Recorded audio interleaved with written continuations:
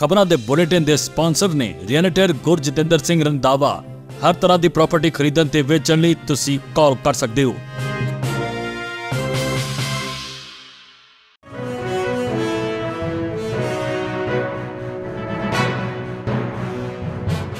ਸਤਿ ਸ਼੍ਰੀ ਅਕਾਲ, ਤੁਸੀਂ ਵੇਖ ਰਹੇ ਹੋ ਪੰਜਾਬ ਮੇਲ ਯੂਐਸਏ ਟੀਵੀ ਮੈਂ ਹਾਂ ਸੰਜੀਵ ਯਸ਼ ਖੰਨਾ। ਖਬਰਾਂ ਦੇ ਬੁਲੇਟਿਨ ਦੇ ਵਿੱਚ ਸਵਾਗਤ, ਸਭ ਤੋਂ ਪਹਿਲਾਂ ਚੋਣਵੀਆਂ ਖਬਰਾਂ। ਬੋਇੰਗ ਜਹਾਜ਼ਾਂ ਦੀ ਉਡਾਨ ਬਹਾਲੀ ਸੰਬੰਧੀ ਅਮਰੀਕਾ ਦਾ ਬਿਆਨ ਆਇਆ ਸਾਹਮਣੇ। ਅਮਰੀਕਾ ਰੈਗੂਲੇਟਰੀ ਵੱਲੋਂ ETF ਨੂੰ ਮਨਜ਼ੂਰੀ ਮਿਲਣ ਨਾਲ ਬਿਟਕੋਇਨ ਵਿੱਚ ਨਿਵੇਸ਼ ਕਰਨ ਵਾਲਿਆਂ ਦੇ ਖਿੜੇ ਚਿਹਰੇ। WHO ਨੇ ਲੋਕਾਂ ਨੂੰ ਕੀਤਾ ਸਾਵਧਾਨ। ਨਵੇਂ ਵੇਰੀਐਂਟ ਕਾਰਨ ਦਸੰਬਰ ਵਿੱਚ ਕਰੋਨਾ ਕਾਰਨ ਹੋਈਆਂ 10000 ਮੌਤਾਂ। ਕੈਨੇਡਾ ਦੇ ਹਾਈ ਕਮਿਸ਼ਨਰ ਬੋਲੇ, ਸਹੀ ਦਿਸ਼ਾ ਵਿੱਚ ਜਾ ਰਹੇ ਨੇ ਭਾਰਤ ਅਤੇ ਸਾਡੇ ਹਿੱਤ। ਇਜ਼ਰਾਈਲ ਖਿਲਾਫ ਕੌਮਾਂਤਰੀ ਅਦਾਲਤ ਵਿੱਚ ਸੁਣਵਾਈ ਸ਼ੁਰੂ। ਅਮਰੀਕਾ ਨੇ ਪੰਨੂ ਮਾਮਲੇ ਵਿੱਚ ਨਿਖਲ ਗੁਪਤਾ ਤੇ ਲੱਗੇ ਦੋਸ਼ਾਂ ਦਾ ਵੇਰਵਾ ਦੇਣ ਤੋਂ ਕੀਤਾ ਇਨਕਾਰ। ਕੈਨੇਡਾ ਵਿੱਚ 233 ਕਿਲੋਗ੍ਰਾਮ ਕੋਕੇਨ ਲਿਜਾਣ ਦੇ ਦੋਸ਼ ਵਿੱਚ ਭਾਰਤੀ ਮੂਲ ਦਾ ਟਰੱਕ ਡਰਾਈਵਰ ਗ੍ਰਿਫਤਾਰ। ਕਾਂਗਰਸ ਦੀ ਭਾਰਤ ਜੋੜੋ ਨਿਆਂ ਯਾਤਰਾ ਮਣੀਪੁਰ ਤੋਂ ਹੋਵੇਗੀ ਸ਼ੁਰੂ। ਸਰਕਾਰ ਨੇ ਸ਼ਰਤਾਂ ਨਾਲ ਦਿੱਤੀ ਇਜਾਜ਼ਤ। ਪੰਜਾਬ ਦੀ ਝਾਕੀ ਦੇ ਮੁੱਦੇ ਤੇ ਚੁੱਕੀ ਮੋਦੀ ਸਰਕਾਰ। ਅਗਲੇ 3 ਸਾਲਾਂ ਲਈ ਕੀਤਾ ਇਹ ਫੈਸਲਾ। ਸ਼ਿਮਲਾ ਤੋਂ ਵੀ ਠੰਡਾ ਰਿਹਾ ਪੰਜਾਬ। ਕੜਾਕੇ ਦੀ ਠੰਡ ਵਿੱਚ ਮਨਾਈ ਜਾਵੇਗੀ ਲੋਹੜੀ। ਸੰਘਣੀ ਧੁੰਦ ਦਾ ਅਲਰਟ ਜਾਰੀ। ਹੁਣ ਖਬਰਾਂ ਵਿਸਥਾਰ ਦੇ ਵਿੱਚ।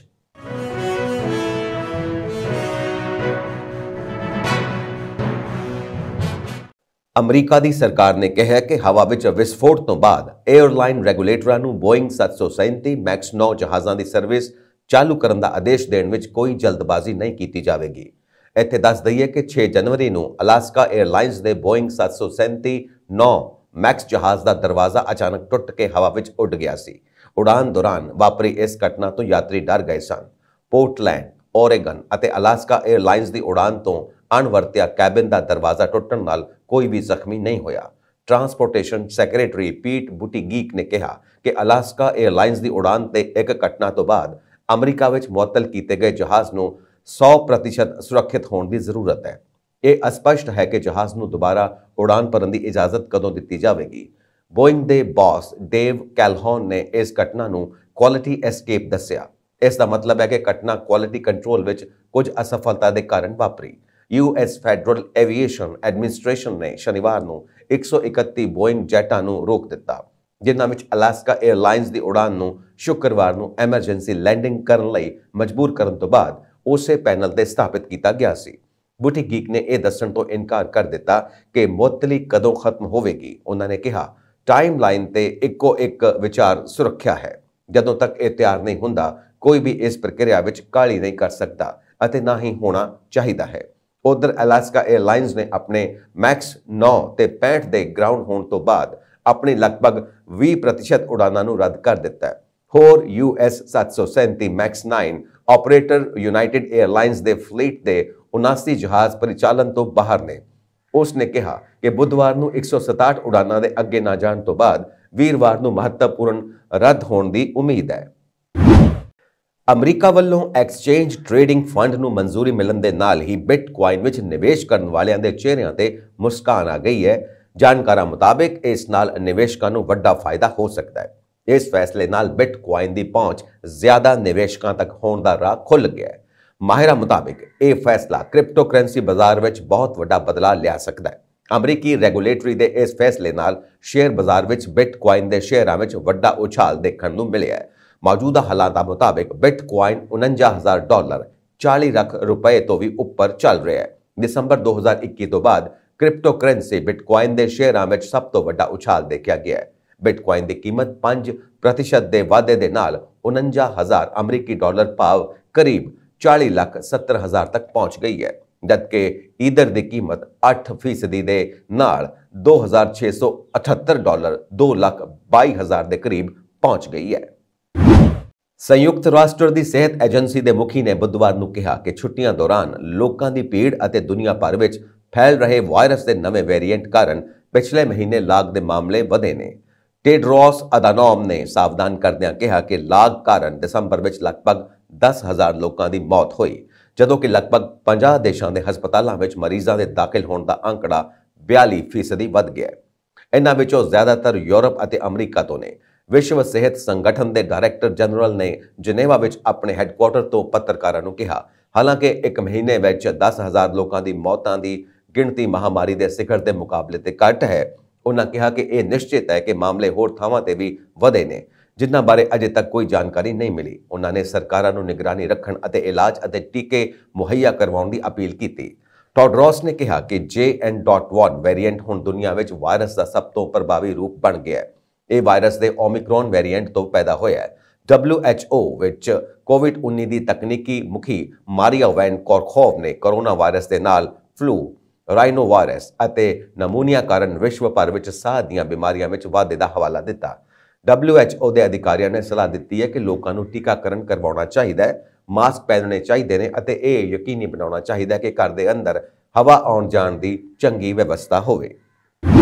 ਰਾਸ਼ਟਰਪਤੀ ਜੋ ਬਾਈਡਨ ਨੇ ਵਿਸ਼ਵ ਸਿਹਤ ਸੰਗਠਨ ਦੇ ਕਾਰਜਕਾਰੀ ਬੋਰਡ ਵਿੱਚ ਅਮਰੀਕੀ ਪ੍ਰਤੀਨਿਧੀ ਵਜੋਂ ਸੇਵਾ ਕਰਨ ਲਈ ਇੱਕ ਵਾਰ ਫਿਰ ਭਾਰਤੀ ਅਮਰੀਕੀ ਸਰਜਨ ਜਨਰਲ ਡਾਕਟਰ ਵਿਵੇਕ ਮੂਰਤੀ ਨੂੰ ਨਾਮਜ਼ਦ ਕੀਤਾ।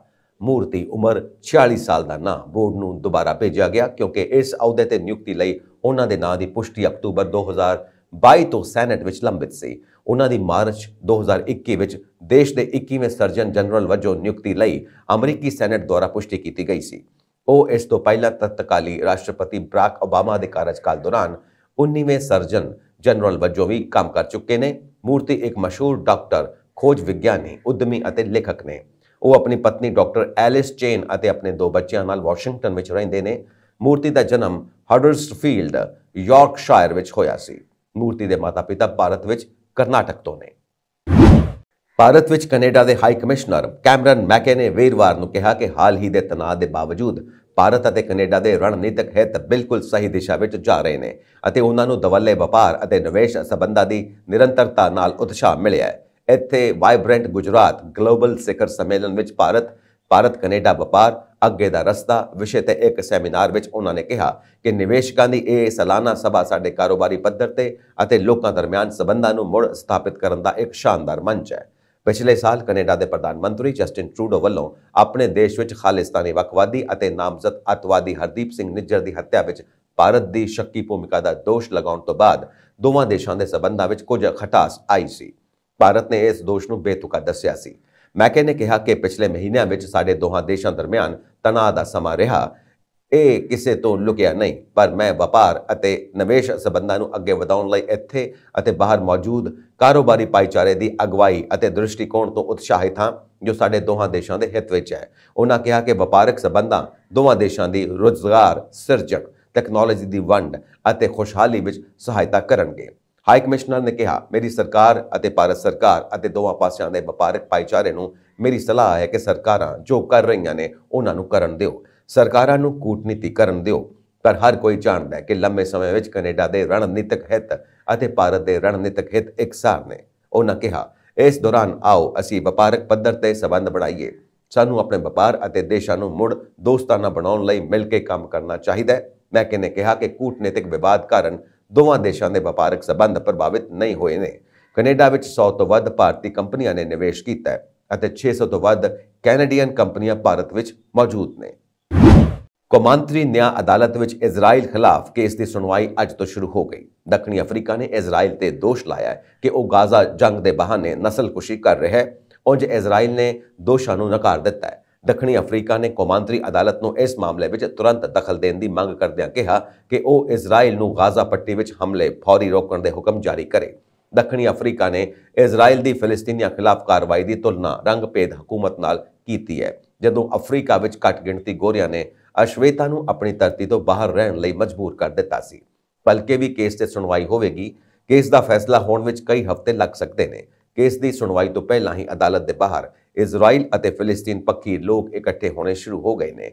ਸੰਯੁਕਤ ਰਾਸ਼ਟਰ ਅਤੇ ਕੌਮਾਂਤਰੀ ਟ੍ਰਿਬਿਊਨਲਾਂ ਨੂੰ ਨਜਾਇਜ਼ ਤੇ ਪੱਖਪਾਤੀ ਕਰਾਰ ਦੇਣ ਵਾਲੇ ਇਜ਼ਰਾਈਲ ਨੇ ਹਮਾਸ ਖਿਲਾਫ ਫੌਜੀ ਕਾਰਵਾਈ ਨੂੰ ਜਾਇਜ਼ ਠਹਿਰਾਉਣ ਲਈ ਆਪਣੀ ਮਜ਼ਬੂਤ ਕਾਨੂੰਨੀ ਟੀਮ ਭੇਜੀ ਹੈ। ਇਜ਼ਰਾਈਲੀ ਪ੍ਰਧਾਨ ਮੰਤਰੀ ਬੈਂਜਾਮਿਨ ਨੇਤਨਯਾਹੂ ਨੇ ਬੁੱਧਵਾਰ ਰਾਤ ਵੀਡੀਓ ਬਿਆਨ ਜਾਰੀ ਕਰਕੇ ਫੌਜੀ ਕਾਰਵਾਈਆਂ ਦਾ ਬਚਾਅ ਕੀਤਾ ਅਤੇ ਕਿਹਾ ਕਿ ਉਹਨਾਂ ਦਾ ਗਾਜ਼ਾ ਉੱਪਰ ਪੱਕੇ ਤੌਰ ਤੇ ਕਬਜ਼ੇ ਦਾ ਕੋਈ ਇਰਾਦਾ ਨਹੀਂ ਹੈ। ਉਹਨਾਂ ਕਿਹਾ ਕਿ ਇਜ਼ਰਾਈਲ ਵੱਲੋਂ ਫਿਲਿਸਤੀਨੀ ਆਬਾਦੀ ਨਾਲ ਨਹੀਂ ਸਗੋਂ ਹਮਾਸ ਅਤਵਾਦੀਆਂ ਨਾਲ ਕੌਮਾਂਤਰੀ ਕਾਨੂੰਨਾਂ ਦੀ ਪਾਲਣਾ ਕਰਦਿਆਂ ਜੰਗ ਲੜੀ ਜਾ ਰਹੀ ਹੈ ਅਮਰੀਕੀ ਸਰਕਾਰ ਨੇ ਗੁਰਪਤਵੰਤ ਸਿੰਘ ਪੰਨੂ ਦੇ ਕਤਲ ਦੀ ਅਸਫਲ ਸਾਜ਼ਿਸ਼ ਦੇ ਦੋਸ਼ ਵਿੱਚ ਚੈੱਕ ਗਣਰਾਜ ਦੀ ਜੇਲ੍ਹ ਵਿੱਚ ਬੰਦ ਭਾਰਤੀ ਨਾਗਰਿਕ ਨਿਖਿਲ ਗੁਪਤਾ ਨੂੰ ਬਚਾਅ ਸਮੱਗਰੀ ਮੁਹੱਈਆ ਕਰਵਾਉਣ ਤੇ ਇਤਰਾਜ਼ ਪ੍ਰਗਟਾਇਆ ਅਤੇ ਨਿਖਿਲ ਗੁਪਤਾ ਤੇ ਲੱਗੇ ਦੋਸ਼ਾਂ ਦਾ ਵਿਸਤ੍ਰਿਤ ਵੇਰਵਾ ਦੇਣ ਤੋਂ ਇਨਕਾਰ ਕਰ ਦਿੱਤਾ ਹੈ ਅਮਰੀਕਾ ਨੇ ਕਿਹਾ ਕਿ ਉਹ ਨਿਊਯਾਰਕ ਅਦਾਲਤ ਵਿੱਚ ਪੇਸ਼ ਹੋਣ ਅਤੇ ਕੇਸ ਵਿੱਚ ਦੋਸ਼ ਆਇਦ ਹੋਣ ਤੋਂ ਬਾਅਦ ਹੀ ਜਾਣਕਾਰੀ ਪ੍ਰਦਾਨ ਕਰੇਗਾ। 52 ਸਾਲਾ ਗੁਪਤਾ ਤੇ ਸੰਘੀ ਵਕੀਲਾਂ ਨੇ ਪਿਛਲੇ ਸਾਲ ਨਵੰਬਰ ਵਿੱਚ ਅਮਰੀਕਾ ਦੀ ਧਰਤੀ ਤੇ ਗੁਰਪਤਵੰਤ ਸਿੰਘ ਪੰਨੂ ਨੂੰ ਮਾਰਨ ਦੀ ਨਾਕਾਮ ਸਾਜ਼ਿਸ਼ ਵਿੱਚ ਭਾਰਤ ਸਰਕਾਰ ਦੇ ਇੱਕ ਕਰਮਚਾਰੀ ਨਾਲ ਮਿਲ ਕੇ ਕੰਮ ਕਰਨ ਦਾ ਦੋਸ਼ ਲਗਾਇਆ ਸੀ। ਪੰਨੂ ਕੋਲ ਅਮਰੀਕਾ ਅਤੇ ਕੈਨੇਡਾ ਦੀ ਦੋਹਰੀ ਨਾਗਰਿਕਤਾ ਹੈ। ਗੁਪਤਾ ਨੂੰ 30 ਜੂਨ 2023 ਨੂੰ ਚੈੱਕ ਗਣਰਾਜ ਦੇ ਪ੍ਰਾਗ ਵਿੱਚ ਗ੍ਰਿਫਤਾਰ ਕੀਤਾ ਗਿਆ ਸੀ ਅਤੇ ਉਸ ਨੂੰ ਫਿਲਹਾਲ ਉੱਥੇ ਹੀ ਰੱਖਿਆ ਗਿਆ ਹੈ। ਅਮਰੀਕੀ ਸਰਕਾਰ ਉਸ ਨੂੰ ਅਮਰੀਕਾ ਹਵਾਲੇ ਕਰਨ ਦੀ ਮੰਗ ਕਰ ਰਹੀ ਹੈ। ਗੁਪਤਾ ਦੇ ਵਕੀਲਾਂ ਨੇ 4 ਜਨਵਰੀ ਨੂੰ ਨਿਊਯਾਰਕ ਦੇ ਦੱਖਣੀ ਜ਼ਿਲ੍ਹੇ ਲਈ ਅਮਰੀਕੀ ਜ਼ਿਲ੍ਹਾ ਅਦਾਲਤ ਵਿੱਚ ਇੱਕ ਮੋਸ਼ਨ ਦਾਇਰ ਕੀਤਾ, ਜਿਸ ਵਿੱਚ ਅਦਾਲਤ ਨੂੰ ਬੇਨਤੀ ਕੀਤੀ ਕਿ ਉਹ ਸੰਘੀ ਵਕੀਲਾਂ ਨੂੰ ਤਤਕਾਲ ਦੋਸ਼ਾਂ ਦੇ ਬਚਾਓ ਲਈ ਸਬੰਧਿਤ ਰੱਖਿਆ ਸਮੱਗਰੀ ਪ੍ਰਦਾਨ ਲਈ ਨਿਰਦੇਸ਼ ਦੇਣ। ਅਮਰੀਕੀ ਜ਼ਿਲ੍ਹਾ ਜੱਜ ਵਿਕਟਰ ਮੈਰੋਰੋ ਨੇ 8 ਜਨਵਰੀ ਨੂੰ ਗੁਪਤਾ ਦੇ ਵਕੀਲ ਦੁਆਰਾ ਦਾਇਰ ਮਤਾ ਦਾ ਜਵਾਬ ਦੇਣ ਲਈ ਸਰਕਾਰ ਨੂੰ 3 ਦਿਨਾਂ ਦਾ ਸਮਾਂ ਦਿੱਤਾ ਸੀ। ਸਰਕਾਰ ਨੇ ਬੁੱਧਵਾਰ ਨੂੰ ਜ਼ਿਲ੍ਹਾ ਅਦਾਲਤ ਵਿੱਚ ਦਾਇਰ ਆਪਣੇ ਜਵਾਬ ਵਿੱਚ ਕਿਹਾ ਕਿ ਸਮੱਗਰੀ ਦੀ ਮੰਗ ਕਰਨ ਵਾਲੇ ਗੁਪਤਾ ਦੇ ਪ੍ਰਸਤਾਵ ਨੂੰ ਰੱਦ ਕਰ ਦਿੱਤਾ ਜਾਣਾ ਚਾਹੀਦਾ ਹੈ। ਅਮਰੀਕੀ ਅਟਾਰਨੀ ਡੈਮਿਨਸ ਵਿਲੀਅਮਸ ਨੇ ਸਰਕਾਰ ਦੀ ਤਰਫੋਂ ਜਵਾਬ ਦਿੰਦੇ ਹੋਏ ਕਿਹਾ ਕਿ ਗੁਪਤਾ ਕੋਲ ਇਸ ਸਮੇਂ ਅਜਿਹਾ ਕਰਨ ਦਾ ਕੋਈ ਕਾਨੂੰਨੀ ਅਧਿਕਾਰ ਜਾਂ ਜਾਇਜ਼ ਨਹੀਂ ਹੈ। ਨਿਊਯਾਰਕ ਵਿੱਚ ਗੁਪਤਾ ਦੇ ਵਕੀਲ ਜੈਫ ਚੈਬਾਰੋਵੇ ਨੇ ਆਪਣੇ ਮੋਸ਼ਨ ਵਿੱਚ ਕਿਹਾ ਕਿ ਹਵਾਲਗੀ ਦੀ ਕਾਰਵਾਈ ਵਿੱਚ ਪ੍ਰਾਗ ਵਿੱਚ ਗੁਪਤਾ ਦੀ ਨੁਮਾਇੰਦਗੀ ਕਰਨ ਵਾਲੇ ਵਕੀਲ ਨੇ ਕਿਹਾ ਅਮਰੀਕੀ ਦੋਸ਼ਾਂ ਤੋਂ ਇਲਾਵਾ ਉਸ ਨੂੰ ਕਿਸੇ ਵੀ ਤਰ੍ਹਾਂ ਦਾ ਕੋਈ ਸਬੂਤ ਜਾਂ ਦਸਤਾਵੇਜ਼ ਨਹੀਂ ਦਿੱਤਾ ਗਿਆ। ਉਹਨਾਂ ਨੇ ਕਿਹਾ, ਪ੍ਰਾਗ ਵਿੱਚ ਕਈ ਮੌਕਿਆਂ ਤੇ ਸੀਨੀਅਰ ਅਮਰੀਕੀ ਅਧਿਕਾਰੀਆਂ ਦੁਆਰਾ ਪੁੱਛਗਿੱਛ ਕੀਤੀ ਗਈ, ਜੋ ਜਾਰੀ ਹੈ। ਪ੍ਰਸਤਾਵ ਵਿੱਚ ਕਿਹਾ ਗਿਆ ਕਿ ਪ੍ਰਾਗ ਵਿੱਚ ਮੌਜੂਦ ਬਚਾਅ ਪੱਖ ਦੇ ਵਕੀਲ ਕੋਲ ਸਿਰਫ ਦੋਸ਼ ਦੇ ਇਲਾਵਾ ਕੋਈ ਸਬੂਤ ਜਾਂ ਹੋਰ ਕੋਈ ਕੇਸ ਸਮੱਗਰੀ ਨਹੀਂ ਹੈ। ਸਭ ਤੋਂ ਗੰਭੀਰ ਗੱਲ ਇਹ ਹੈ ਕਿ ਦੋਸ਼ੀ ਠਹਿਰਾਏ ਜਾਣ ਤੋਂ ਬਾਅਦ ਵੀ ਅਮਰੀਕੀ ਅਧਿਕਾਰੀਆਂ ਦੁਆਰਾ ਪ੍ਰਤੀਵਾਦੀ ਤੋਂ ਪੁੱਛ ਪੜਤਾਲ ਜਾਰੀ ਹੈ। ਇੱਥੇ ਉਸ ਦੇ ਬੇਖਬਰ ਵਕੀਲ ਕੋਲ ਉਸ ਦਾ ਬਚਾਅ ਕਰਨ ਦੀ ਕੋਈ ਯੋਗਤਾ ਜਾਂ ਅਧਿਕਾਰ ਨਹੀਂ ਹੈ। ਇਸ ਲਈ ਅਦਾਲਤ ਨੂੰ ਬੇਨਤੀ ਕੀਤੀ ਜਾਂਦੀ ਹੈ ਕਿ ਉਹ ਸਰਕਾਰ ਨੂੰ ਇੱਥੇ ਨਿਪਟਾਰਾ ਕਰਨ ਦੀ ਬੇਨਤੀ ਦੀ ਪਾਲਣਾ ਕਰਨ ਦਾ ਹੁਕਮ ਦੇਵੇ। ਗੁਪਤਾ ਦੇ ਪ੍ਰਸਤਾਵ ਵਿੱਚ ਕਿਹਾ ਗਿਆ ਕਿ ਪ੍ਰਾਗ ਵਿੱਚ ਇੱਕ ਮਿਊਨਿਸਪਲ ਅਦਾਲਤ ਨੇ ਸ਼ੁਰੂ ਵਿੱਚ ਹਵਾਲਗੀ ਦੀ ਸਿਫਾਰਿਸ਼ ਕੀਤੀ ਸੀ, ਪਰ ਅੰਤਮ ਹਵਾਲਗੀ ਆਦੇਸ਼ ਜਾਰੀ ਕੀਤੇ ਜਾਣ ਤੋਂ ਪਹਿਲਾਂ ਨਿਆਇਕ ਸਮੀਖਿਆ ਦੀ ਤੁਰੰਤ ਲੋੜ ਹੈ। ਹਾਲਾਂਕਿ ਸਰਕਾਰ ਨੇ ਆਪਣੇ ਪ੍ਰਸਤਾਵ ਵਿੱਚ ਗੁਪਤਾ ਦੇ ਇਸ ਦਾਅਵੇ ਨੂੰ ਖਾਰਜ ਕਰ ਦਿੱਤਾ ਕਿ ਅਮਰੀਕੀ ਅਧਿਕਾਰੀਆਂ ਦੁਆਰਾ ਉਹਨਾਂ ਦੇ ਵਕੀਲ ਦੀ ਮੌਜੂਦਗੀ ਤੋਂ ਬਿਨਾਂ ਉਹਨਾਂ ਤੋਂ ਵਾਰ-ਵਾਰ ਪੁੱਛਗਿੱਛ ਕੀਤੀ ਗਈ ਸੀ। ਭਾਰਤ ਨੇ ਦੋਸ਼ਾਂ ਦੀ ਜਾਂਚ ਲਈ ਪਹਿਲਾਂ ਹੀ ਇੱਕ ਜਾਂਚ ਕਮੇਟੀ ਦਾ ਗਠਨ ਕੀਤਾ ਹੈ। ਭਾਰਤੀ ਮੂਲ ਦੇ 35 ਸਾਲਾ ਵਪਾਰਕ ਟਰੱਕ ਡਰਾਈਵਰ ਨੂੰ ਕੈਨੇਡਾ ਵਿੱਚ ਲਗਭਗ 6.5 ਮਿਲੀਅਨ ਡਾਲਰ 4.86 ਮਿਲੀਅਨ ਡਾਲਰ ਦੀ ਕੋਕਿਨ ਲਿਜਾਣ ਦੀ ਕੋਸ਼ਿਸ਼ ਕਰਦੇ ਹੋਏ ਅਧਿਕਾਰੀਆਂ ਵੱਲੋਂ ਫੜੇ ਜਾਣ ਤੋਂ ਬਾਅਦ ਚਾਰਜ ਸ਼ੀਟ ਕੀਤਾ ਗਿਆ। ਸੁਖਵਿੰਦਰ ਤੰਜੂ ਨੂੰ ਕੈਨੇਡੀਅਨ ਬਾਰਡਰ ਸਰਵਿਸਿਜ਼ ਏਜੰਸੀ ਨੇ ਪਿਛਲੇ ਸਾਲ 26 ਸਤੰਬਰ ਨੂੰ ਓਨਟਾਰੀਓ ਸੂਬੇ ਦੇ ਨਿਆਗਰਾ ਔਨ ਦੀ ਲੇਕ ਵਿੱਚ ਕੋਇਨਸਟਨ ਲੈਵਿੰਸਟਨ ਬ੍ਰਿਜ ਬੰਦਰਗਾਹ ਤੇ ਮੁੱਢਲੇ ਨਿਰੀਖਣ ਬੂਥ ਤੇ ਪਹੁੰਚਣ ਤੋਂ ਬਾਅਦ ਗ੍ਰਿਫਤਾਰ ਕੀਤਾ ਸੀ। ਰਾਇਲ ਕੈਨੇਡੀਅਨ ਮਾਊਂਟਡ ਪੁਲਿਸ ਨੇ ਬੁੱਧਵਾਰ ਨੂੰ ਜਾਰੀ ਕੀਤੀ ਇੱਕ ਰਿਲੀਜ਼ ਵਿੱਚ ਕਿਹਾ ਕਿ ਟਰੱਕ ਡਰਾਈਵਰ ਨੂੰ ਉਸ ਦੇ ਟਰੱਕ ਅਤੇ ਟ੍ਰੇਲਰ ਦੀ ਸੈਕੰਡਰੀ ਜਾਂਚ ਲਈ ਰੈਫਰ ਕੀਤਾ ਗਿਆ ਸੀ। ਕਾਰਗੋ ਦੇ ਨਿਰੀਖਣ ਤੋਂ ਬਾਅਦ 202 ਇੱਟਾਂ ਦੇ ਆਕਾਰ ਦੀਆਂ ਵਸਤੂਆਂ ਮਿਲੀਆਂ। ਜਿਨ੍ਹਾਂ ਵਿੱਚ ਕੋਕੀਨ ਹੋਣ ਦੀ ਪੁਸ਼ਟੀ ਹੋਈ ਅਤੇ ਉਹਨਾਂ ਦਾ ਕੁੱਲ ਭਾਰ 233 ਕਿਲੋਗ੍ਰਾਮ ਸੀ। ਤੰਜੂ ਨੂੰ ਫਿਰ CBSA ਨੇ ਗ੍ਰਿਫਤਾਰ ਕੀਤਾ ਤੇ ਸ਼ੱਕੀ ਨਸ਼ੀਲੇ ਪਦਾਰਥਾਂ ਸਮੇਤ RCMP ਬਾਰਡਰ ਇੰਟੈਗ੍ਰਿਟੀ ਯੂਨਿਟ ਦੀ ਹਿਰਾਸਤ ਵਿੱਚ ਤਬਦੀਲ ਕਰ ਦਿੱਤਾ ਗਿਆ ਸੀ। ਪੂਰੀ ਜਾਂਚ ਤੋਂ ਬਾਅਦ RCMP ਨੇ ਪਿਛਲੇ ਸਾਲ 19 ਦਸੰਬਰ ਨੂੰ ਬ੍ਰੈਂਪਟਨ ਨਿਵਾਸੀ ਤੰਜੂ ਤੇ ਕੋਕੀਨ ਦੀ ਦਰਾਮਦ ਅਤੇ ਤਸਕਰੀ ਦੇ ਉਦੇਸ਼ ਨਾਲ ਰੱਖਣ ਦਾ ਦੋਸ਼ ਲਗਾਇਆ ਸੀ। RCMP ਬਾਰਡਰ ਇੰਟੈਗ੍ਰਿਟੀ ਪ੍ਰੋਗਰਾਮ ਦੇ in charge superintendent Roy Bolsterli ਨੇ ਕਿਹਾ। RCMP ਅਤੇ CBMA ਨੇ ਇੱਕ ਵਾਰ ਫਿਰ ਸਾਂਝੇ ਯਤਨਾਂ ਰਾਹੀਂ ਨਸ਼ੀਲੇ ਪਦਾਰਥਾਂ ਦੇ ਵਪਾਰ ਨੂੰ ਪ੍ਰਭਾਵਸ਼ਾਲੀ ਢੰਗ ਨਾਲ ਰੋਕਣ ਲਈ ਮਿਲ ਕੇ ਕੰਮ ਕਰਨ ਵਿੱਚ ਲਗਾਤਾਰ ਵਚਨਬੱਧਤਾ ਦਾ ਪ੍ਰਦਰਸ਼ਨ ਕੀਤਾ ਹੈ। ਰਿਲੀਜ਼ ਅਨੁਸਾਰ ਤੰਜੂ ਨੂੰ ਸਖਤ ਸ਼ਰਤਾਂ ਨਾਲ ਰਿਹਾ ਕੀਤਾ ਗਿਆ ਹੈ ਅਤੇ ਉਸ ਦੀ ਅਗਲੀ ਸੁਣਵਾਈ 2 ਫਰਵਰੀ ਨੂੰ ਓਨਟਾਰੀਓ ਦੇ ਸੇਂਟ ਕੈਂਥਰੀਨਸ ਵਿਖੇ ਤੈਅ ਕੀਤੀ ਗਈ ਹੈ। ਪਾਪੂਆ, ਨਿਊ ਗਿਨੀ ਦੀ ਰਾਜਧਾਨੀ ਪੋਰਟ ਮੋਰੇਸਬੀ ਵਿੱਚ ਵੱਡੇ ਦੰਗਿਆਂ ਅਤੇ ਅਸ਼ਾਂਤੀ ਦੌਰਾਨ ਘੱਟੋ-ਘੱਟ 15 ਲੋਕਾਂ ਦੀ ਮੌਤ ਹੋ ਗਈ। ਇੱਕ ਅਧਿਕਾਰੀ ਨੇ ਵੀਰਵਾਰ ਨੂੰ ਇਸ ਸੰਬੰਧੀ ਪੁਸ਼ਟੀ ਕੀਤੀ। ਆਸਟ੍ਰੇਲੀਅਨ ਬਾਰਡਕਾਸਟਿੰਗ ਕਾਰਪੋਰੇਸ਼ਨ ABC ਨੇ ਵੀਰਵਾਰ ਨੂੰ ਇਹ ਜਾਣਕਾਰੀ ਦਿੱਤੀ। ਮੀਡੀਆ ਆਊਟਲੈਟ ਨੇ ਮੈਟਰੋ ਕਮਾਂਡ ਦਾ ਹਵਾਲਾ ਦਿੰਦੇ ਹੋਏ ਦੱਸਿਆ ਕਿ ਦੇਸ਼ ਦੀ ਰਾਜਧਾਨੀ ਪੋਰਟ ਮੋਰੇਸਬੀ ਵਿੱਚ ਕੱਲ ਹੋਏ ਦੰਗਿਆਂ ਵਿੱਚ 8 ਲੋਕ ਮਾਰੇ ਗਏ ਨੇ। ਜਦੋਂ ਕਿ ਪੀਐਨਜੀ ਦੇ ਦੂਜੇ ਸਭ ਤੋਂ ਵੱਡੇ ਸ਼ਹਿਰ ਲਈ ਵਿੱਚ 7 ਲੋਕ ਮਾਰੇ ਗਏ। ਬੀਬੀਸੀ ਦੀ ਰਿਪੋਰਟ ਅਨੁਸਾਰ ਸੈਂਕੜੇ ਲੋਕ ਤਨਖਾਹ ਦੇ ਵਿਵਾਦ ਨੂੰ ਲੈ ਕੇ ਪੁਲਿਸ ਦੇ ਹੜਤਾਲ ਤੇ ਜਾਣ ਤੋਂ ਬਾਅਦ ਰਾਜਧਾਨੀ ਸ਼ਹਿਰ ਦੀਆਂ ਸੜਕਾਂ ਤੇ ਆ ਗਏ। ਨਤੀਜੇ ਵਜੋਂ ਸੁਪਰਮਾਰਕਟਾਂ ਦੇ ਵੱਡੇ ਪੱਧਰ ਤੇ ਲੁੱਟਮਾਰ ਕੀਤੀ ਗਈ, ਜਦੋਂ ਕਿ ਕਾਰਾਂ ਅਤੇ ਦੁਕਾਨਾਂ ਨੂੰ ਅੱਗ ਲਗਾ ਦਿੱਤੀ ਗਈ। ਅਸ਼ਾਂਤੀ ਦੇ ਨਤੀਜੇ ਵਜੋਂ ਸਰਕਾਰ ਨੇ ਵਿਵਸਥਾ ਬਹਾਲ ਕਰਨ ਦੀ ਕੋਸ਼ਿਸ਼ ਕਰਨ ਲਈ ਫੌਜ ਨੂੰ ਤਾਇਨਾਤ ਕੀਤਾ ਹੈ। ਵੀਰਵਾਰ ਨੂੰ ਇੱਕ ਰੇਡੀਓ ਪ੍ਰਸਾਰਣ ਵਿੱਚ National Capital District governor Powes Parkop ਨੇ ਦਾਅਵਾ ਕੀਤਾ ਕਿ ਲੁੱਟ ਮੌਕਾ ਪ੍ਰਸਤਾਂ ਦੁਆਰਾ ਕੀਤੀ ਗਈ ਸੀ ਅਤੇ ਕਿਹਾ ਕਿ ਸਾਡੇ ਸ਼ਹਿਰ ਵਿੱਚ ਜਾਰੀ ਸਥਿਤੀ ਦਾ ਪੱਧਰ ਕੁਝ ਅਜਿਹਾ ਹੈ ਜੋ ਦੇਸ਼ ਦੇ ਇਤਿਹਾਸ ਵਿੱਚ ਪਹਿਲਾਂ ਕਦੇ ਨਹੀਂ ਹੋਈ ਸੀ। ਪਾਰਪੋਕ ਨੇ ਕੋਈ ਸਹੀ ਆંકੜਾ ਦਿੱਤੇ ਬਿਨਾਂ ਇਹ ਵੀ ਕਿਹਾ ਕਿ ਕੁਝ ਲੋਕਾਂ ਨੇ ਦੁਖਦਾਈ ਤੌਰ ਤੇ ਅੱਜ ਆਪਣੀ ਜਾਨ ਗਵਾ ਦਿੱਤੀ। ਅਸ਼ਾਂਤੀ ਫੈਲਣ ਤੋਂ ਪਹਿਲਾਂ ਪੁਲਿਸ ਕਰਮਚਾਰੀਆਂ ਅਤੇ ਸਰਕਾਰੀ ਕਰਮਚਾਰੀਆਂ ਨੇ ਬੁੱਧਵਾਰ ਨੂੰ ਸੰਸਦ ਦੇ ਬਾਹਰ ਪ੍ਰਦਰਸ਼ਨ ਕੀਤਾ। ਜਦੋਂ ਉਹਨਾਂ ਨੂੰ ਇਹ ਪਤਾ ਲੱਗਾ ਕਿ ਉਹਨਾਂ ਦੀਆਂ ਤਨਖਾਹਾਂ ਵਿੱਚ 50% ਤੱਕ ਦੀ ਕਟੌਤੀ ਕੀਤੀ ਗਈ ਹੈ। ਪ੍ਰਧਾਨ ਮੰਤਰੀ ਜੇਮਸ ਮੈਰੈਪੇ ਅਨੁਸਾਰ ਕੰਪਿਊਟਰ ਦੀ ਗੜਬੜੀ ਕਾਰਨ ਜਨਤਕ ਸੇਵਕਾਂ ਦੇ ਤਨਖਾਹ ਚੈੱਕਾਂ ਤੋਂ ਲਗਭਗ 100 ਡਾਲਰ ਦੀ ਕਟੌਤੀ ਕੀਤੀ ਗਈ ਸੀ ਅਤੇ ਪ੍ਰਦਰਸ਼ਨਕਾਰੀਆਂ ਦੇ ਦਾਅਵਿਆਂ ਨੂੰ ਖਾਰਜ ਕਰ ਦਿੱਤਾ ਗਿਆ ਸੀ ਕਿ ਸਰਕਾਰ ਟੈਕਸ ਵਧਾ ਰਹੀ ਹੈ। ਬੀਬੀਸੀ ਨੇ ਮੈਰਾਪੇ ਦੇ ਹਵਾਲੇ ਨਾਲ ਕਿਹਾ, ਸੋਸ਼ਲ ਮੀਡੀਆ ਨੂੰ ਇਸ ਗਲਤ ਜਾਣਕਾਰੀ ਨੂੰ ਸੂਚਨਾ ਵਜੋਂ ਦੱਸਿਆ। ਉਸ ਨੂੰ ਅੱਗੇ ਕਿਹਾ ਕਿ ਦੰਗਾਕਾਰੀਆਂ ਨੇ ਇਸ ਤੱਥ ਦਾ ਫਾਇਦਾ ਉਠਾਇਆ ਕਿ ਪੁਲਿਸ ਸੜਕਾਂ ਤੋਂ ਬਾਹਰ ਹੈ। ਰੱਖਿਆ ਮੰਤਰੀ ਰਾਜਨਾਥ ਸਿੰਘ ਨੇ ਬੁੱਧਵਾਰ ਨੂੰ ਇੱਥੇ 10 ਡਾਊਨਿੰਗ ਸਟਰੀਟ ਵਿਖੇ ਬ੍ਰਿਟੇਨ ਦੇ ਪ੍ਰਧਾਨ ਮੰਤਰੀ ਰਿਸ਼ੀ ਸੁਨਕ ਨਾਲ ਮੁਲਾਕਾਤ ਕੀਤੀ ਅਤੇ ਵੱਖ-ਵੱਖ ਦੁਵੱਲੇ ਮੁੱਦਿਆਂ ਤੇ ਚਰਚਾ ਕੀਤੀ। ਮੀਟਿੰਗ ਤੋਂ ਜਾਣੂ ਸੀਨੀਅਰ ਅਧਿਕਾਰੀਆਂ ਦੇ ਅਨੁਸਾਰ ਗੱਲਬਾਤ ਦੇ ਏਜੰਡੇ ਵਿੱਚ ਰੱਖਿਆ, ਵਪਾਰ ਅਤੇ ਖੇਤਰੀ ਮੁੱਦੇ ਸ਼ਾਮਿਲ ਨੇ। ਇਸ ਤੋਂ ਇਲਾਵਾ ਮੁਕਤ ਵਪਾਰ ਸਮਝੌਤੇ ਸੰਬੰਧੀ ਚੱਲ ਰਹੀ ਗੱਲਬਾਤ ਦੀ ਪ੍ਰਗਤੀ ਤੇ ਵੀ ਚਰਚਾ ਕੀਤੀ ਗਈ।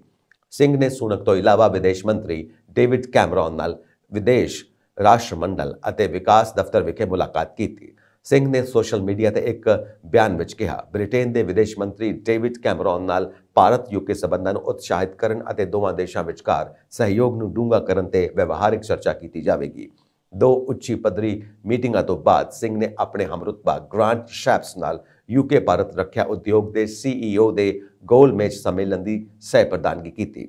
ਉਹਨਾਂ ਕਿਹਾ ਕਿ ਭਾਰਤ ਬ੍ਰਿਟੇਨ ਨਾਲ ਸਹਿ ਉਤਪਾਦਨ ਤੇ ਕੇਂਦਰਿਤ ਇੱਕ ਖੁਸ਼ਹਾਲ ਰੱਖਿਆ ਸਾਂਝੇਦਾਰੀ ਦੀ ਕਲਪਨਾ ਕਰਦਾ ਹੈ। ਗੋਲਮੇਜ਼ ਬੈਠਕ ਵਿੱਚ ਬ੍ਰਿਟੇਨ ਦੇ ਰੱਖਿਆ ਉਦਯੋਗ ਦੇ ਕਈ ਮੁੱਖ ਕਾਰਜਕਾਰੀ ਅਧਿਕਾਰੀ, ਬ੍ਰਿਟੇਨ ਦੇ ਰੱਖਿਆ ਮੰਤਰਾਲੇ ਦੇ ਅਧਿਕਾਰੀ, ਬ੍ਰਿਟੇਨ ਭਾਰਤ ਬਿਜ਼ਨਸ ਕੌਂਸਲ ਅਤੇ ਭਾਰਤੀ ਉਦਯੋਗ ਸੰਘ ਦੇ ਨੁਮਾਇੰਦਿਆਂ ਨੇ ਭਾਗ ਲਿਆ।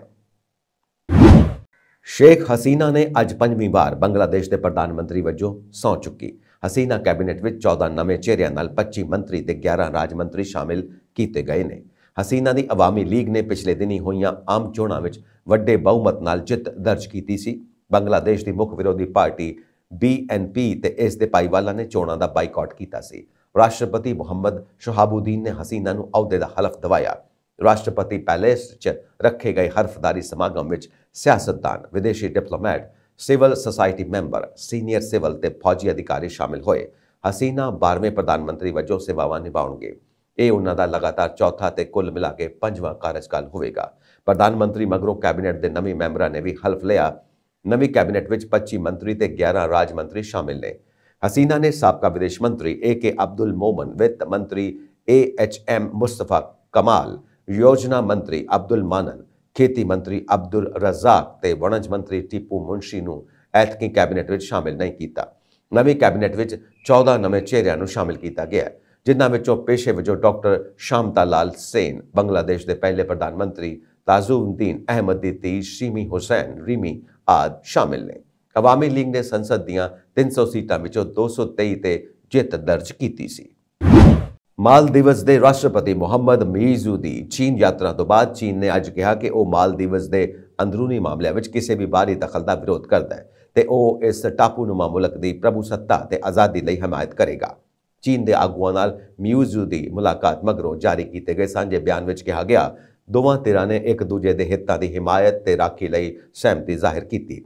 ਇਸ ਵਿੱਚ ਕਿਹਾ ਗਿਆ, ਚੀਨ ਕੌਮੀ ਪ੍ਰਭੂਸੱਤਾ ਆਜ਼ਾਦੀ ਤੇ ਕੌਮੀ ਮਾਣ ਸਨਮਾਨ ਬਹਾਲ ਰੱਖਣ ਲਈ ਮਾਲਦੀਵਸ ਦੀ ਦ੍ਰਿੜਤਾ ਨਾਲ ਹਿਮਾਇਤ ਕਰਦਾ ਹੈ ਅਤੇ ਮਾਲਦੀਵਸ ਦੇ ਅੰਦਰੂਨੀ ਮਾਮਲਿਆਂ ਵਿੱਚ ਬਾਹਰੀ ਦਖਲ ਦਾ ਵਿਰੋਧ ਕਰਦਾ ਹੈ। ਇਹ ਬਿਆਨ ਅਜਿਹੇ ਸਮੇਂ ਸਾਹਮਣੇ ਆਇਆ ਜਦੋਂ ਪ੍ਰਧਾਨ ਮੰਤਰੀ ਨਰਿੰਦਰ ਮੋਦੀ ਬਾਰੇ ਕੀਤੀ ਗਈ ਟਿੱਪਣੀ ਕਾਰਨ ਮਾਲਦੀਵਸ ਤੇ ਭਾਰਤ ਵਿਚਾਲੇ ਤਣਾਅ ਬਣਿਆ ਹੋਇਆ ਹੈ। ਮਾਲਦੀਵਸ ਦੇ ਰਾਸ਼ਟਰਪਤੀ ਮਈਜ਼ੂ ਚੀਨ ਦੇ ਹਮਾਇਤੀ ਮੰਨੇ ਜਾਂਦੇ ਨੇ। ਮਾਲਦੀਵਸ ਨੇ ਹਾਲਾਂਕਿ ਮੋਦੀ ਬਾਰੇ ਟਿੱਪਣੀ ਕਰਨ ਵਾਲੇ ਆਪਣੇ ਮੰਤਰੀਆਂ ਨੂੰ ਮੁਅੱਤਲ ਕਰ ਦਿੱਤਾ ਸੀ। ਸਾਂਝੇ ਬਿਆਨ ਵਿੱਚ ਮਾਲਦੀਵਸ ਨੇ ਕਿਹਾ ਕਿ ਉਹ ਇੱਕ ਚੀਨ ਸਿਧਾਂਤ ਪ੍ਰਤੀ ਦ੍ਰਿੜਤਾ ਨਾਲ ਪ੍ਰਤੀਬੱਧ ਹੈ। ਇਹ ਮੰਨਦੇ ਹੋਏ ਕਿ ਦੁਨੀਆ ਵਿੱਚ ਇੱਕ ਹੀ ਚੀਨ ਹੈ ਅਤੇ ਤਾਈਵਾਨ ਚੀਨੀ ਖੇਤਰ ਦਾ ਅਨਿੱਖੜਵਾਂ ਅੰਗ ਹੈ। ਇਸੇ ਦੌਰਾਨ ਮੀਜ਼ੂ ਨੇ ਚੀਨੀ ਪ੍ਰੀਮੀਅਰ ਲੀ ਕੌਂਗ ਨਾਲ ਮੁਲਾਕਾਤ ਕਰਕੇ ਮਾਲਦੀਵਜ਼ ਵਿੱਚ ਚੀਨੀ ਸੈਲਾਨੀਆਂ ਦੀ ਗਿਣਤੀ ਵਧਾਉਣ ਬਾਰੇ ਵੀ ਚਰਚਾ ਕੀਤੀ। ਯੂਕਰੇਨ ਦੇ ਰਾਸ਼ਟਰਪਤੀ ਵਲਾਦੀਮੀਰ ਜ਼ੈਲੈਂਸਕੀ ਨੇ ਰੂਸ ਨਾਲ ਜੰਗਬੰਦੀ ਤੋਂ ਇਨਕਾਰ ਕਰਦਿਆਂ ਕਿਹਾ ਕਿ ਇਸ ਨਾਲ ਕ੍ਰੈਮਲਿਨ ਦੀ ਫੌਜ ਨੂੰ ਇਕਜੁੱਟ ਹੋਣ ਦਾ ਮੌਕਾ ਮਿਲ ਜਾਵੇਗਾ। ਐਸਟੋਨੀਆ ਦੇ ਦੌਰੇ ਤੇ ਆਏ ਜੈਲਨਸੰਕੀ ਨੇ ਕਿਹਾ ਕਿ ਜੇਕਰ ਜੰਗਬੰਦੀ ਹੋਈ ਤਾਂ ਇਸ ਨਾਲ ਰੂਸ ਨੂੰ ਫਾਇਦਾ ਹੋਵੇਗਾ। ਉਹਨਾਂ ਦੋਸ਼ ਲਾਇਆ ਕਿ ਰੂਸ ਤੋਪ ਦੇ ਗੋਲੇ ਤੇ ਮਿਜ਼ਾਈਲਾਂ ਉੱਤਰੀ ਕੋਰੀਆ ਤੇ ਡਰੋਨ ਈਰਾਨ ਤੋਂ ਖਰੀਦ ਰਿਹਾ ਹੈ। ਜ਼ੈਲੈਂਸਕੀ ਰੂਸ ਖਿਲਾਫ ਜੰਗ ਵਿੱਚ ਹਮਾਇਤ ਲੈਣ ਲਈ ਬਾਲਟਿਕ ਮੁਲਕਾਂ ਦੇ ਦੌਰੇ ਤੇ ਨੇ। ਐਸਟੋਨੀਆ ਦੇ ਰਾਸ਼ਟਰਪਤੀ ਅਲਾਰ ਕਾਰਿਸ ਨੇ ਪ੍ਰੈਸ ਕਾਨਫਰੰਸ ਦੌਰਾਨ ਕਿਹਾ ਕਿ ਯੂਕਰੇਨ ਨੂੰ ਬਿਹਤਰ ਹਥਿਆਰਾਂ ਦੀ ਲੋੜ ਹੈ।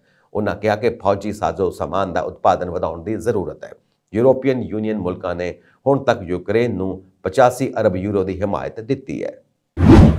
ਕਾਂਗਰਸ ਦੀ 66 ਦਿਨਾਂ ਲੰਬੀ ਭਾਰਤ ਜੋੜੋ ਨਿਆਂ ਯਾਤਰਾ ਨੂੰ ਆਖਰਕਾਰ ਮਨੀਪੁਰ ਤੋਂ ਕੱਢਣ ਦੀ ਇਜਾਜ਼ਤ ਮਿਲ ਗਈ ਹੈ। ਹਾਲਾਂਕਿ ਇਜਾਜ਼ਤ ਮਿਲਣ ਤੋਂ ਕੁਝ ਘੰਟੇ ਪਹਿਲਾਂ ਹੀ ਕਾਂਗਰਸ ਨੇ ਮਨੀਪੁਰ ਸਰਕਾਰ ਤੇ ਮਨਜ਼ੂਰੀ ਨਾ ਦੇਣ ਦੇ ਗੰਭੀਰ ਦੋਸ਼ ਲਾਏ ਸਨ। ਇਹ ਵੀ ਕਿਹਾ ਗਿਆ ਕਿ 8 ਦਿਨਾਂ ਪਹਿਲਾਂ ਰਾਜ ਸਰਕਾਰ ਤੋਂ ਯਾਤਰਾ ਦੀ ਇਜਾਜ਼ਤ ਮੰਗੀ ਗਈ ਸੀ, ਪਰ ਅਜੇ ਤੱਕ ਕੋਈ ਜਵਾਬ ਨਹੀਂ ਦਿੱਤਾ ਗਿਆ।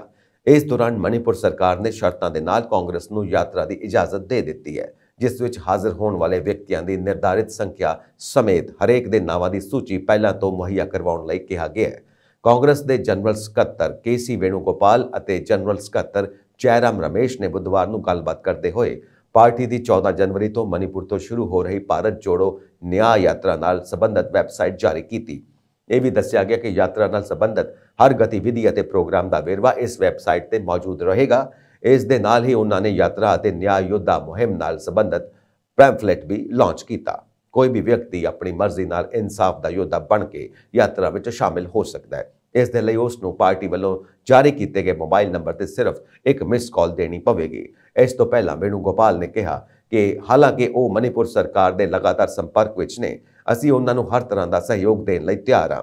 ਇਸ ਦੇ ਬਾਵਜੂਦ ਜੇਕਰ ਇਜਾਜ਼ਤ ਮਿਲਣ ਵਿੱਚ ਦੇਰੀ ਹੋਈ ਤਾਂ ਸਾਡੀ ਯਾਤਰਾ ਮਨੀਪੁਰ ਤੋਂ ਹੀ ਸ਼ੁਰੂ ਹੋਵੇਗੀ। ਯਾਤਰਾ ਪ੍ਰੋਗਰਾਮ ਵਿੱਚ ਕਈ ਬਦਲਾਅ ਨਹੀਂ ਹੋਵੇਗਾ। ਜ਼ਿਕਰਯੋਗ ਹੈ ਕਿ ਇਹ ਯਾਤਰਾ 14 ਜਨਵਰੀ ਨੂੰ ਮਨੀਪੁਰ ਤੋਂ ਸ਼ੁਰੂ ਹੋ ਕੇ 20 ਮਾਰਚ ਨੂੰ ਮੁੰਬਈ ਵਿੱਚ ਸਮਾਪਤ ਹੋਵੇਗੀ। ਇਹ ਯਾਤਰਾ 15 ਰਾਜਾਂ ਦੇ 110 ਜ਼ਿਲ੍ਹਿਆਂ ਵਿੱਚੋਂ ਲੰਘੇਗੀ, ਜੋ 66 ਦਿਨਾਂ ਵਿੱਚ ਕਰੀਬ 6713 ਕਿਲੋਮੀਟਰ ਦਾ ਸਫ਼ਰ ਤੈਅ ਕਰੇਗੀ। ਦੇਸ਼ ਦੀ ਮੋਦੀ ਸਰਕਾਰ ਦੇ ਮਹਿਕਮੇ ਕਲਚਰਲ ਵਿਭਾਗ ਤੇ ਹੋਰਨਾਂ ਵਿਭਾਗਾਂ ਨੇ ਅੱਜ ਪੰਜਾਬ ਸਰਕਾਰ ਵੱਲੋਂ 26 ਜਨਵਰੀ ਨੂੰ ਹੋਣ ਵਾਲੇ ਸਮਾਗਮ ਵਿੱਚ ਪਹਿਲਾਂ ਰੱਦ ਕੀਤੀ ਝਾਂਕੀ ਇਹ ਆ ਕੇ ਰੱਦ ਕਰ ਦਿੱਤੀ ਸੀ ਕਿ ਇਹ ਸਰਕਾਰ ਦੇ ਕਾਇਦੇ ਕਾਨੂੰਨ ਦੇ ਫਿੱਟ ਨਹੀਂ ਹੈ, ਜਿਸ ਨੂੰ ਲੈ ਕੇ ਕਾਫੀ ਵਾਦ ਵਿਵਾਦ ਛਿੜਿਆ ਹੋਇਆ ਸੀ। ਇੱਥੋਂ ਤੱਕ ਕਿ ਭਾਜਪਾ ਦੇ ਪ੍ਰਧਾਨ ਸੁਨੀਲ ਜਾਖੜ ਤੇ ਮੁੱਖ ਮੰਤਰੀ ਭਗਵੰਤ ਮਾਨ ਰੱਦ ਕੀਤੀ ਝਾਕੀ ਨੂੰ ਲੈ ਕੇ ਇੱਕ ਦੂਜੇ ਦੇ ਖਿਲਾਫ ਤੂੰ ਤੂੰ ਮੈਂ ਮੈਂ ਤੇ ਉੱਤਰ ਹੋਏ ਸਨ। ਪਰ ਅੱਜ ਮੁੱਖ ਮੰਤਰੀ ਭਗਵੰਤ ਸਿੰਘ ਮਾਨ ਨੇ ਸ਼ਾਮ ਨੂੰ ਸਾਫ਼ ਕਰ ਦਿੱਤਾ ਕਿ ਹੁਣ ਕੇਂਦਰ ਦੀ ਸਰਕਾਰ ਦੀ, ਮੋਦੀ ਸਰਕਾਰ ਨੇ ਪੰਜਾਬ ਦੀ ਝਾਂਕੀ ਨੂੰ ਇਸ ਵਾਰ 26 ਜਨਵਰੀ ਤੋਂ ਇਲਾਵਾ ਅਗਲੇ 3 ਸਾਲਾਂ ਵਾਸਤੇ ਵੀ ਹਰੀ ਝੰਡੀ ਦੇ ਦਿੱਤੀ ਹੈ ਇਸ ਨੂੰ ਲੈ ਕੇ ਕਿ ਹੁਣ ਪੰਜਾਬ ਦੀ ਝਾਂਕੀ ਦਿੱਲੀ ਪਰੇਡ ਵਿੱਚ ਸ਼ਾਮਿਲ ਹੋਏਗੀ। ਇੱਥੇ ਦੱਸਣਾ ਉਚਿਤ ਹੋਵੇਗਾ ਕਿ ਕੇਂਦਰ ਸਰਕਾਰ ਵੱਲੋਂ ਹਰੀ ਝੰਡੀ ਦੇਣ ਤੋਂ ਬਾਅਦ ਹੁਣ ਮੋਦੀ ਸਰਕਾਰ ਪੰਜਾਬ ਦੀ ਝਾਂਕੀ ਅੱਗੇ ਝੁਕੀ ਦਿਖਾਈ ਦੇ ਰਹੀ ਹੈ। ਇੱਥੇ ਇਹ ਵੀ ਦੱਸ ਦਈਏ ਕਿ ਮੋਦੀ ਸਰਕਾਰ ਵੱਲੋਂ ਰੱਦ ਕੀਤੀ ਝਾਂਕੀ ਤੋਂ ਬਾਅਦ ਪੰਜਾਬ ਦੇ ਮੁੱਖ ਮੰਤਰੀ ਨੇ ਐਲਾਨ ਕੀਤਾ ਸੀ ਕਿ ਹੁਣ ਉਹ ਰੱਦ ਹੋਈ ਝਾਂਕੀ ਨੂੰ ਪਿੰਡ-ਪਿੰਡ ਵਿੱਚ ਦਿਖਾਉਣਗੇ। ਸ਼ਾਇਦ ਇਸ ਦੇ ਚੱਲਦੇ ਕੇਂਦਰ ਸਰਕਾਰ ਨੇ ਫੈਸਲਾ ਲਿਆ ਹੋਵੇ।